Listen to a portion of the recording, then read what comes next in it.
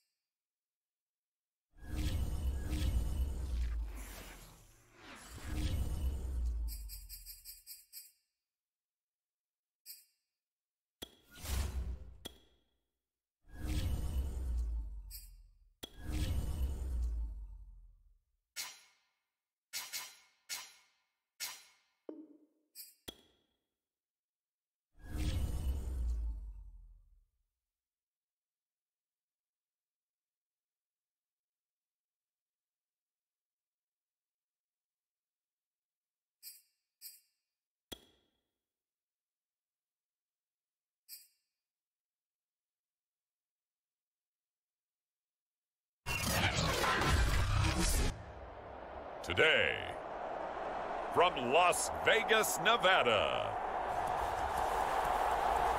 this is the National Football League.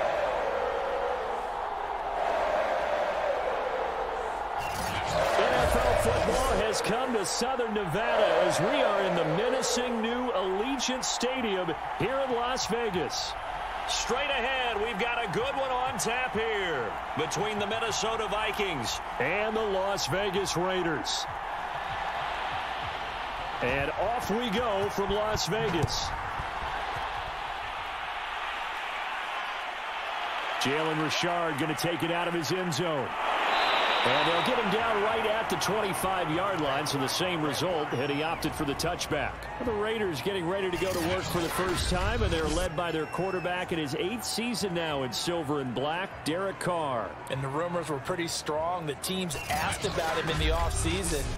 But for once, got a pretty firm not available from the Raiders. Now in his eighth season as a Raider, still yet to appear in a playoff game. But last year, really solid numbers again. A third straight 4,000-yard campaign, 27 touchdowns, just nine interceptions, and the highest analytical rating of his career. Derek Carr is one of the top quarterbacks in the NFL.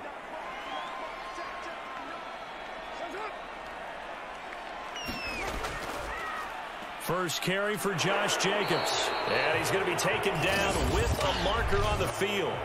So let's see about the call.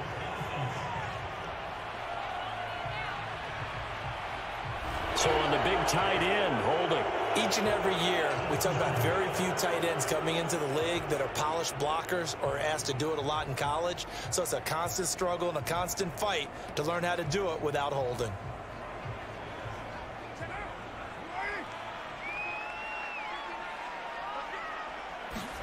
Carr. Throw left side, taken in by Renfrow. Five yards on the game's first play, second down.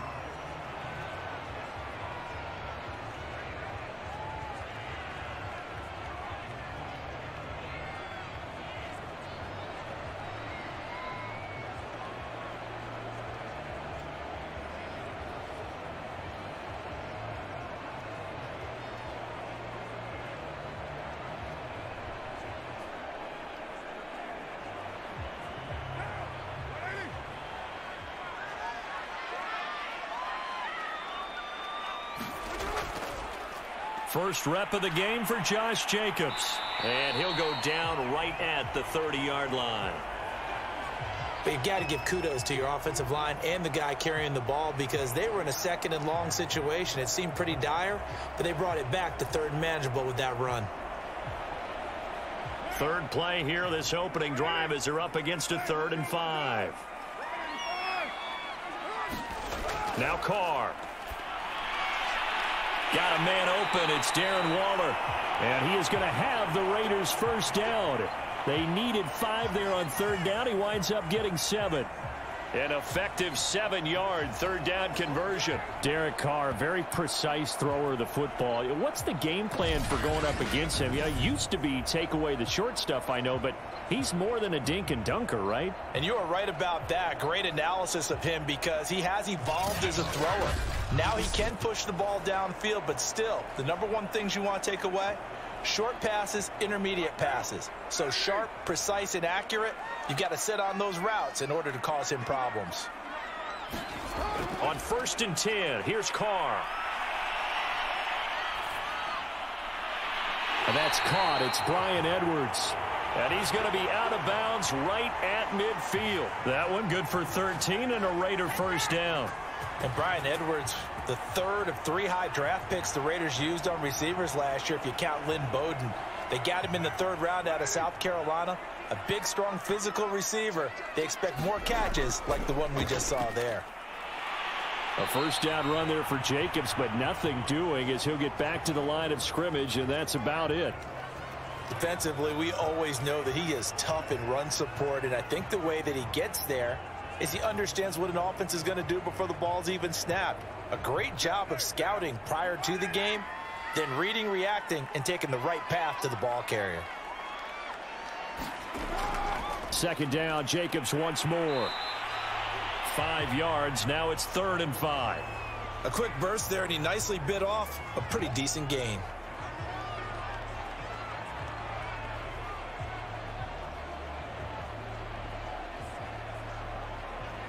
An extra defender in the secondary for the Vikings here on third down. Now Carr. Over the middle, complete. That's Edwards.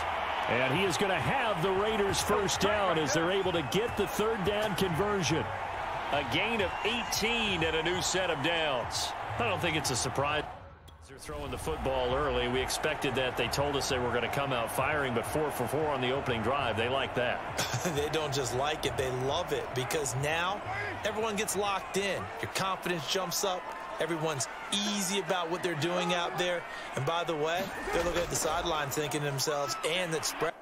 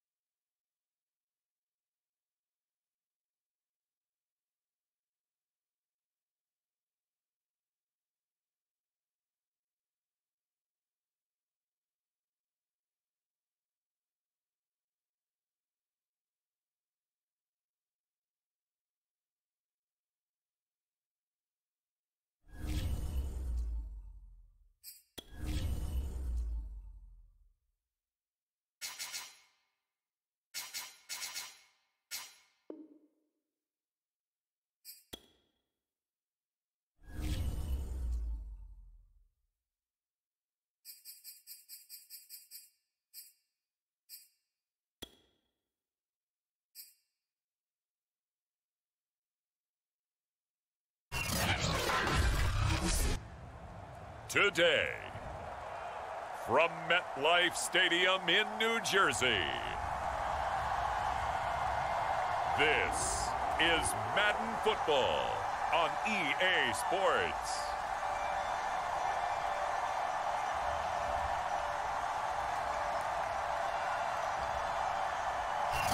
From the stadium that hosted Super Bowl 48 back in 2014, there's a look at MetLife Stadium here in East Rutherford. Today, we're set for a good AFC matchup between the Jacksonville Jaguars and the New York Jets. Josh Lambo now ready to put this one in the air. And we are underway here on EA Sports. On the return, Corey Ballentine. And he brings us out past the 20 to the 24. And the Jets about set to go here on the offensive side for the first time. And leading them out, Charles, the number two overall pick in this April's draft. It's Zach Wilson out of BYU. During the draft process, it was pretty clear early that Jacksonville was locked in on Trevor Lawrence, the quarterback at Clemson. That allowed the Jets to really peruse the rest of the quarterback crop and they settled in on Zach Wilson from BYU. Loved his game, ability to throw from the pocket, the off-platform throws, getting outside of the pocket and making plays. He's their guy, and they expect him to be that guy for at least the next 10 years.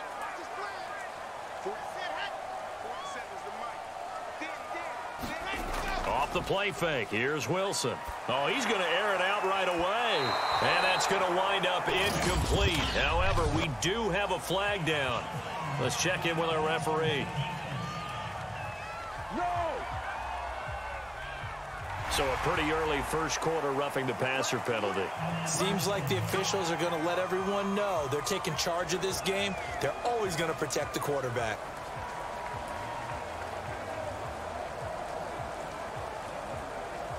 So the yellow flag came out, and that leads to a new set of downs for this offense. First and 10. Here's Wilson. And his first pass is incomplete. He was looking for Jamison Crowder there. That'll bring up second down. Had an open man that time, but ended up putting a little too much heat on it, don't you think, partner? Absolutely. Just needed a touch more air under it. Instead, he fired an absolute bullet. So line of scrimmage still the 39 on second and 10. Here's Wilson to throw. Open out on the left side. This is Cole. That helps the completion percentage, but not much else. And now it's third and 10. Pass complete, but no gain. No yards. Yeah. So you file that as unsuccessful.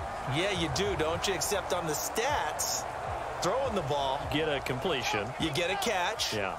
But still, no, no yardage. Okay.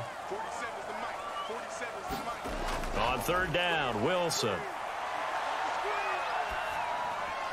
And that's going to be incomplete. The contact there enough to jar that ball free, and it brings up fourth down. He did a fine job there of not hitting him before the ball arrived, and I've got to tell you, you can often mistime that play because of the angles of approach. When you're going to get him, sometimes you panic as well and think, I've got to be there right now. Instead, in this case, timed it perfectly and knocked it free. Now the Jets send on Braden Mann to punt. Jamal Agnew is deep to return it. The call for a fair catch, and it's made at about the 23-yard line. Just 34 yards on the punt there, no return. And the Jaguars go on offense, first down and 10.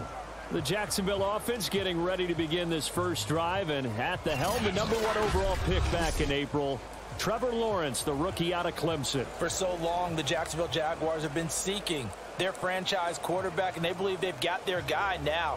How about this? 38 and 2 in his collegiate career, won a national championship his freshman season, and the only losses he ever suffered during the college football playoffs. Had to have a little bit of surgery in the offseason, but this is a guy who's locked in on football, has everything you're looking for in a quarterback. And they'll run it. This is James Robinson. And he'll take this one up close to the 25-yard line. The tackle made there by Jarrad Davis. Well, any lane that might have been open there was closed pretty quickly, and that was because the defensive front, they won that battle at the point of attack at the line of scrimmage. They used great leverage, held their spot, and stacked him up. From the 25 on second down, Lawrence. That catch good for five. It's third down. Not a big window to throw. Coverage wasn't too bad there. Yeah, they had him under wraps pretty well, but somehow able to muscle his way open and catch the ball. The Jets will bring in a nickel set here as they try to stop this third down. Lawrence. And it's going to be incomplete. He was able to catch it there on the right sideline, but out of bounds, says the line judge. And it's going to bring up fourth down. So the defense able to get off the field here on third down. And it's one of the goals of the game. They've got to be effective on passing downs. It's one of the few things defenses chart. How did we do on third down? That's a nice start for them in this one. The Cooke now on to punt as he gets this one away. That'll go as a punt of 34 yards that time. And the Jets will take over first and 10. Back onto the field come the New York Jets for their second drive. And the first drive, three and out. Second possession, see if they can get a little momentum. And oftentimes that first drive is just a feeling out process. You have some plays that you've got called and you want to see how defense reacts. It may not go terrific on the first one. Now they're ready to go. They've kind of got to look at them, got a sense. Let's see if they open things up a little bit. See if they open things up. Let's see what the defense does here, too, after a good stop. From the 34 now, here's first and 10. Wilson. And it's knocked away and incomplete. There is something to a game plan with trying to keep a defense honest. With a guy with that type of speed, you do so. Send him deep. Try and throw some air under it and hope you connect downfield. On that play, they were unsuccessful. Second and 10.